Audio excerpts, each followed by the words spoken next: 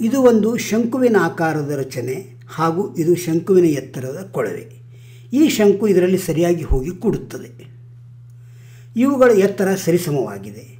ಈ ಕೊಳವೆಯಲ್ಲಿ ಶಂಕುವಿನ ಆಕಾರದ ಎಷ್ಟು ಗಾತ್ರಗಳು ಕೂಡಬಹುದು ಎಂಬುದನ್ನು ನಾವೀಗ ಕಂಡುಹಿಡಿಯುವ. ಇದಕ್ಕಾಗಿ ನಾವು ಮೊದಲು ಶಂಕುವಿನ ಎತ್ತರದ ಕೊಳವೆಯನ್ನು ಮಾಡುವ.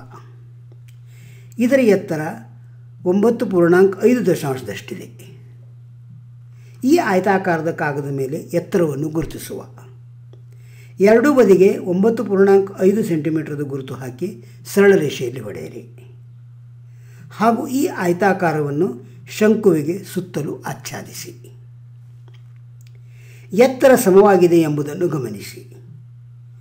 ಶಂಕುವನ್ನು ಹೊರತೆಗೆದು ಕೊಳವೆಯ ಮೇಲೆ ಟೇಪನ್ನು ಹಚ್ಚಿ ಭದ್ರಗೊಳಿಸಿ.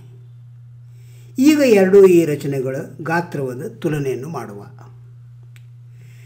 ಶಂಕುವಿನ ತುಂಬ ಉಸುಕನ್ನು ಹಾಕಿ ಅದನ್ನು ಕೊಳವೆಯಲ್ಲಿ ಸುರುವಿ. ಇದು ಟೇಪ್ದಿಂದ ನಾವು ಕೊಳವೆಯನ್ನು ಗಟ್ಟಿ ಮಾಡುತ್ತಲಿದ್ದೇವೆ. ಈಗ ಅದರ ಎತ್ತರ ಸಮವಾಗಿದೆ. ಇನ್ನೊಂದು ಸಲ ಇದೇ ರೀತಿಯಾಗಿ ಮಾಡಿ.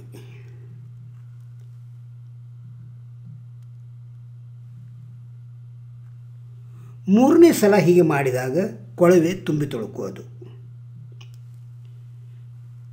ಇದರ ಮೇಲಿಂದ ಶಂಕುವಿನ ಗಾತ್ರ ಅದೇ ಎತ್ತರದ ಹಾಗೂ ವ್ಯಾಸವಿರುವ ಕೊಳವೆಗಿಂತ ಒಂದು ಮೂರಾಂಶದಷ್ಟಿದೆ ಎಂಬುದನ್ನು ನೀವು ಇಲ್ಲಿ ಗಮನಿಸಬಹುದು.